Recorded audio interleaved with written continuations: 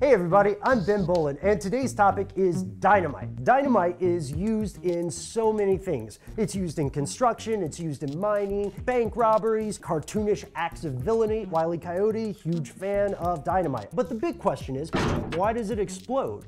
To answer this question, let's look at gasoline, because gasoline contains a lot of carbon and a lot of hydrogen. Now let's say, just for the sake of example, we had a big old bowl of gasoline. I, don't sweat the details, just assume for some reason we have a bowl of gasoline. We thought it would be a good idea. And then I also decided to ignite that. What happens there is that the oxygen, the hydrogen, and the carbon start a reaction, and then soon enough, there's a fireball.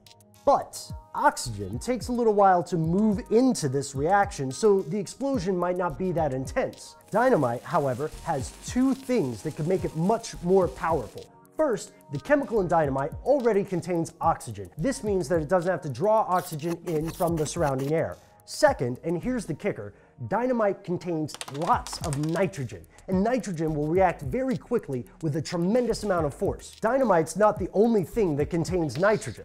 TNT, nitroglycerin, uh, some of the fertilizers that you hear about mentioned in stories of truck bombs, these all have nitrogen and they use nitrogen to make these tremendous explosions. Spoiler alert, nitrogen is sort of the Keyser Söze of dynamite, you know, it's, it's, it's the, uh, the power behind the curtain. So I hope this answers your question and we really appreciate your time watching. Let us know what you think. We'd love to hear your questions, comments, feedback, suggestions for upcoming episodes. You can leave them all right here in comments on our YouTube page. And if you're feeling generous, you can always subscribe.